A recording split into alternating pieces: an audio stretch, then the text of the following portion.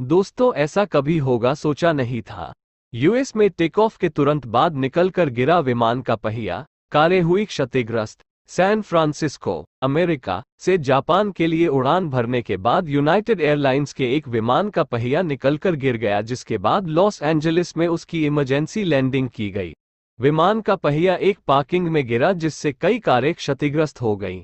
विमान में दो सौ उनचास लोग सवार थे और फेडरल एविएशन एडमिनिस्ट्रेशन घटना की जाँच करेगा।